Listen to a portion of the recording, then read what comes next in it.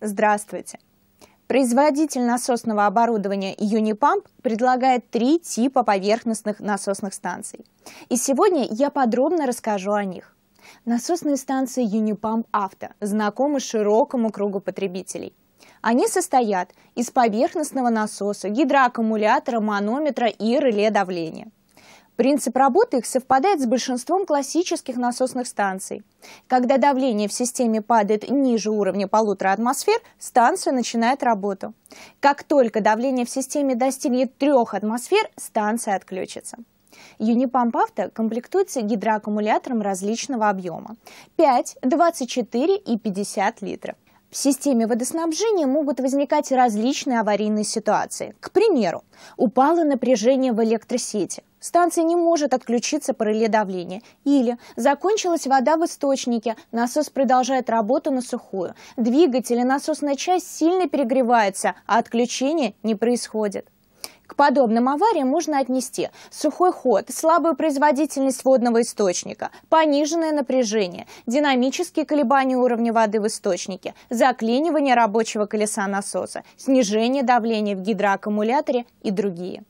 Тогда Юнипам предложил два типа насосных станций «Акваробот», которые защищены от большинства аварийных ситуаций. Среди них «Акваробот адаптивная» и «Акваробот универсальная».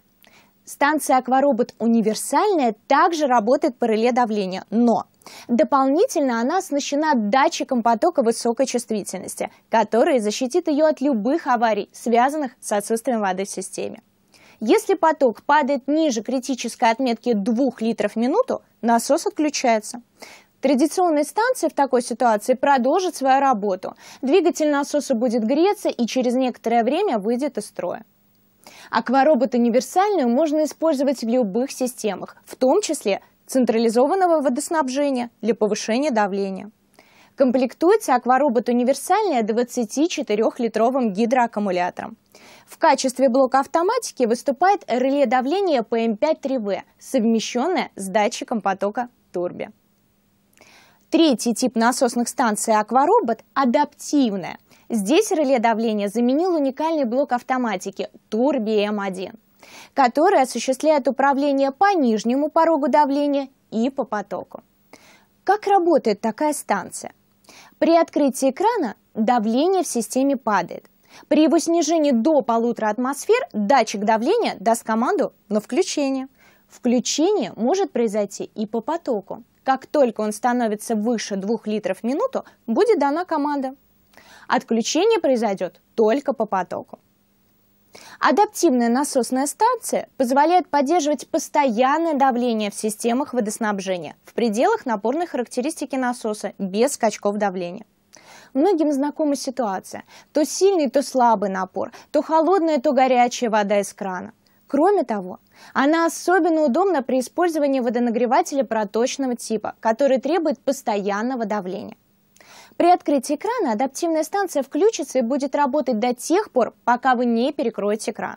Обычная станция с гидроаккумулятором 24 литра будет периодически включаться и отключаться в пределах пороговых значений реле давления. Таким образом, основная функция гидроаккумулятора в адаптивных станциях – предотвращение гидроударов и компенсация капельных утечек, и объема 2 литра более чем достаточно для надежной работы а за счет небольшого размера станции компактны и просты в установке. Самое главное, пользователь может освободить себя полностью от контроля за работой системы. В Акваробот адаптивная предусмотрена функция перезапусков. В случае аварии, скажем при сухом ходе, блок автоматики отключит насос, а после попытается возобновить его работу и в течение суток проведет серию пробных пусков с разными интервалами времени. Через 5, 20 и 60 минут. Затем через 6-12 часов и еще раз через 24 часа. Если во время любого из пробных пусков в системе появится вода, насос возобновит работу. Если нет, станция перейдет в режим окончательной аварии, но при этом она абсолютно защищена. Для возобновления ее работы достаточно кратковременно отключить ее от сети, конечно, преждевременно устранив причину аварии. Единственное ограничение для подобной станции – не следует их устанавливать в системах повышения давления. Насосная станция «Акваробот» идеально подходит для водоснабжения загородных домов, небольших фермерских хозяйств, для систем полива садовых участков и огородов. Блоки автоматики, которыми укомплектованы станции, можно приобрести отдельно.